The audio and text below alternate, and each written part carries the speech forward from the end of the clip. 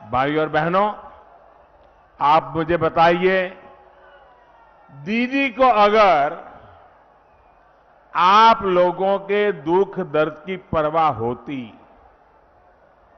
तो क्या वो आपकी भलाई के, आपके हित वाले कामों को रोकने का काम कभी करती क्या? करती क्या? ये रुकावटें डालती क्या? दीवार बनती क्या? दीदी को अगर आपकी तकलीफ़ की चिंता होती तो क्या वो तोलाबाजी होने देती क्या? होने देती क्या?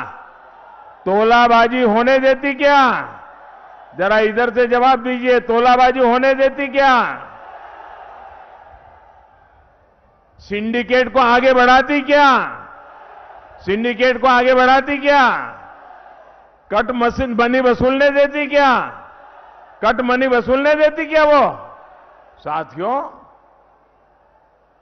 दीदी, अपने अहंकार में, अपने अहंकार में दीदी इतनी बड़ी हो गई है कि हर कोई उन्हें अपने आगे छोटा दिखता है।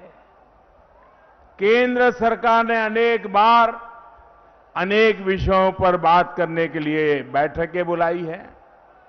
लेकिन दीदी कोई न कोई कारण बताकर इस बैठकों में नहीं आती। जैसे कोरोना पर पिछली दो बैठकों में, बाकी मुख्यमंत्री आए लेकिन दीदी नहीं आई।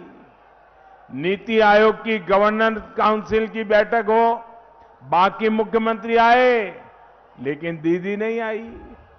माँ गंगा की सफ़ाई के लिए देश में इतना बड़ा अभियान शुरू हुआ, लेकिन दीदी, उससे जुड़ी जो बैठक होती है, उसमें भी नहीं आई।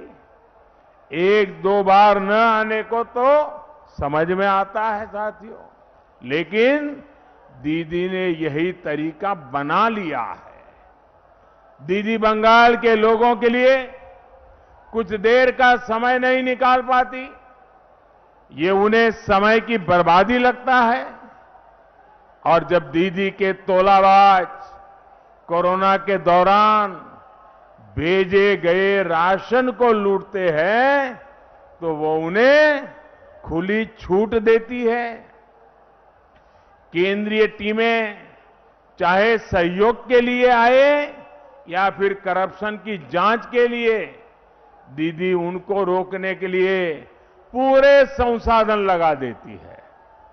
दीदी, केंद्रीय वाहिनी नहीं, सेना तक को बदनाम करती है। राजनीति के लिए झूठे आरोप लगाती है। दीदी खुद को देश के संविधान से ऊपर समझती है।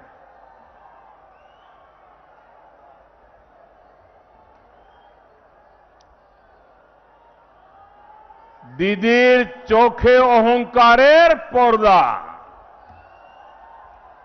दीदी की आँखों पर अहंकार का पर्दा चढ़ा हुआ है।